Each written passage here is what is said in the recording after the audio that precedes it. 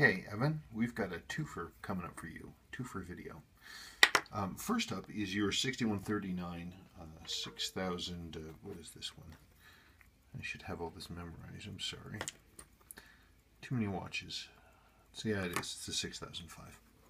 Um, this is your 6139 6005. It's a very nice looking watch. Um, clearly original. I mean, all the things I look for when I see an original watch are here. The seal is ancient. It's like plastic. The button seals are, again, they're like plastic. The movement looks bright. It's very nice. Um, and it is uh, it is running suspiciously well um, for a movement this old. Um, I mean, it's giving me some really good numbers. Um, I would tell you that seeing these kind of numbers out of a uh, an unrestored watch of this age usually are usually makes me actually think that there's something amiss inside. As crazy as that sounds, I often see numbers like this out of an unrestored watch when there's stuff inside like loose screws. Um, I was getting some crazy numbers out of this one earlier. I mean, like it was running in like the th- in above 300, which is just these don't run that high. They just don't. Um, and you can see we're getting a good deal of variability. But overall, the movement is still, it looks good. I mean, we're getting straight pumping lines out. We've got a little bit of noise, nothing major. The numbers are dropping a little bit. It definitely looks good. Um, all I would say is if this were my watch, I wouldn't trust those numbers at all. Um, the watch does not look like it's ever been serviced to me.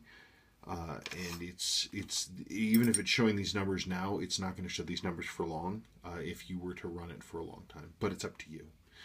Um, it certainly is a nice watch.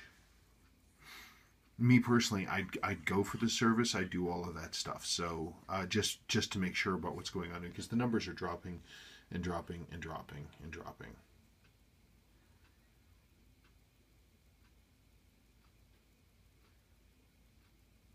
Okay. I mean, but they're not bad. It's definitely a great candidate for a rebuild. Okay, so we are now gonna. I'm gonna put you down.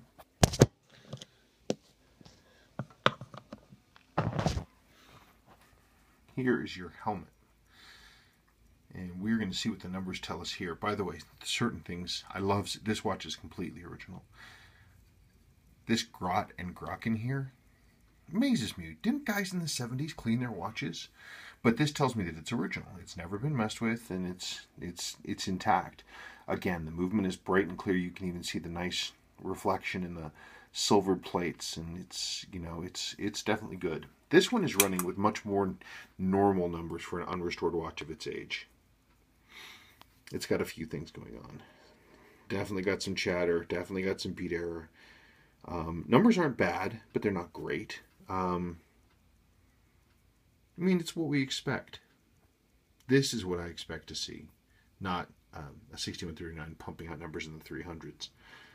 But again, it's not it's not bad. Um, ooh, 133. Well, you know, it's an unrestored original watch. All the functions on both watches work. The the chronograph stops, it starts, it resets to zero in both cases. Um, this watch really really needs love. It's running very weakly. Uh, I don't anticipate that it would give us any mechanical trouble right at this point, simply because I don't see anything. I wouldn't know until I got in there, but I mean, it's it's running fine. It's just really, really, really weak. Great watches, though. I mean, in terms of cosmetic condition, the stuff that can't be repaired, these watches are both great. Good stuff. Okay, bye.